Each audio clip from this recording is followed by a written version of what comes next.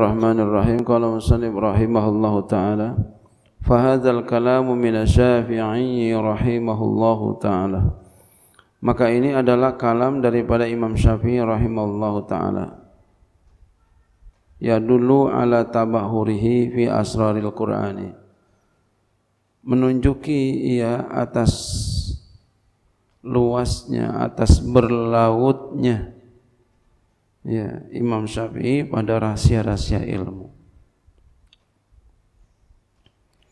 Ya, laut kan luas dan dalam. Jadi ilmunya Imam Syafi'i itu luas dalam. Seperti gambaran laut. Laut itu luas dalam. Ya. Laut kalau sumur dalam dalam doang ya. Kagak luas. Kali ya panjang doang.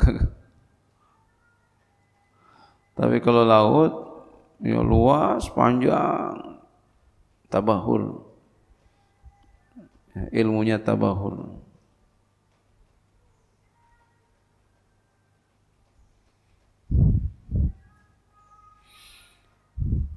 Wa kullu zalika wa tilaihi wa tilaihi ala maqamati sairina ila Allah taala minal dan melihatnya beliau ala maqamin sairin atas makam orang-orang yang berjalan ilallah taala menuju Allah taala. Siapa? Minal anbiya wal awliya daripada para nabi dan wali Para nabi dan wali ini adalah orang-orang yang berjalan menuju Allah. Jadi beliau ngikut kepada para anbiya dan awliya.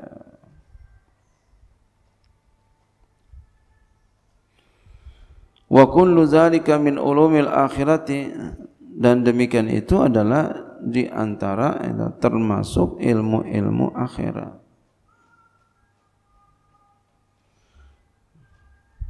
Waqila li Syafi'i rahimahullah dan pernah dikatakan kepada Imam Syafi'i rahimahullah taala.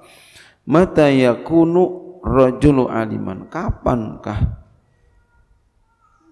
seseorang itu dikatakan alim? Kapan? Qala iza tahaqqaqa fi ilmin fa'allamahu.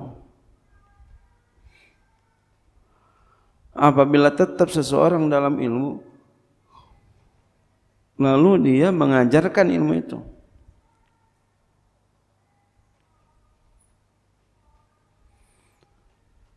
Ya jadi udah punya ilmu ajarin. Itu ya. Punya ilmu lalu ngajarin. Itu orang itu alim.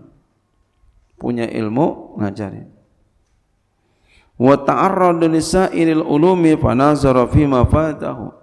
Wa dan ia meneliti li sa'iril ulumi bagi sair ini jami' sekalian maksudnya baki. Sisa. Bagi sisa sekalian ilmu ya. Bagi sekalian ilmu yang sisanya gitu ya setinggalnya. Fanazara lalu ia perhatikan fima fatahu pada apa yang luput kepadanya dia lihat, jadi dilihatin ilmu ilmu-ilmu yang ada. Kemudian dia perhatiin, dia kira-kira ada yang enggak bisa. Ya, selain dia, dia tahu umpama dia dia ahlinya ini yang lain dia periksa, ada enggak yang enggak bisa? Ada yang enggak bisa, dia pelajarin, dia pahami. Hmm.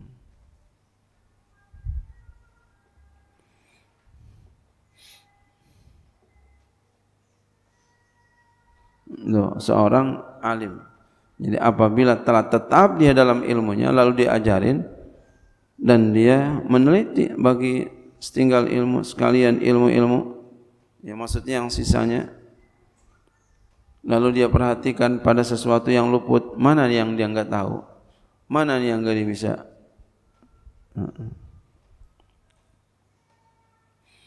fa inda dzalika yakunu aliman maka ketika itu dia adalah orang alim. Hmm, Masya Allah, itu orang alim.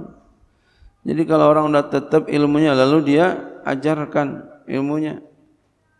Dan dia teliti sekalian ilmu-ilmu lalu ditelaah kira-kira apa yang belum tahu itu orang alim.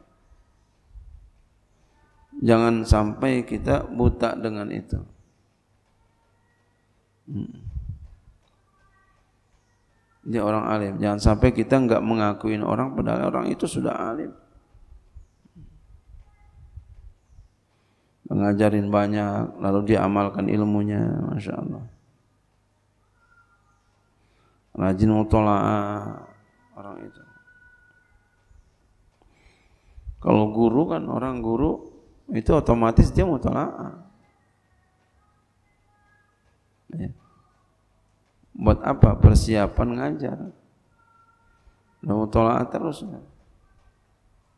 Kerjaannya udah ngelihat kitab terus. Ilmunya udah banyak. Iya. Mutola'ah terus. Kalau guru kan bukan hanya sekedar baca terjemah, tapi dipahamin benar-benar. Maksudnya apa? Kita ngaji yang penting baca dan terjemah ya. itu yang bagus kita pahamin lagi gitu. Kadang baca terjemah aja belum bisa kan. Nah, apalagi gitu.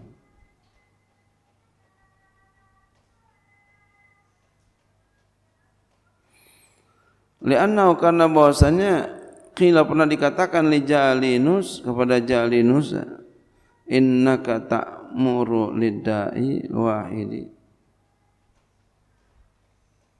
Bil adwiyatil kasiratil mujma'ati. Karena eh, sesungguhnya engkau memerintahkan lida'il wahidi bagi ya satu yang sakit bil adwiyati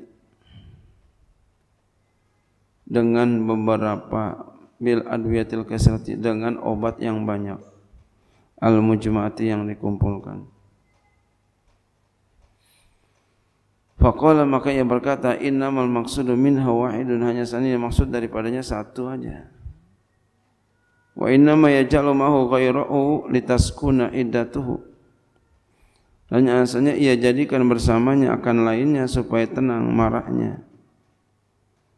Li'annal ibada qatilun karena bahwa sendiri bisa terbunuh.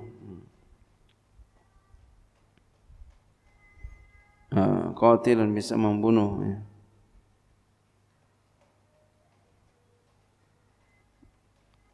Fahaza wa amsalu mimma la yuhsa. Maka ini dan seumpamanya di antara sesuatu yang enggak bisa dihitung. Banyak. Ya dulu yang menunjuki ya ala ulumi rutbati atas ketinggian martabatnya. Fi ma'rifatillah taala pada ma'rifat Allah taala. Wa ya wa ulumil akhirati dan tentang ilmu-ilmu akhirat. Wallahu a'lam bisawab al-fatihah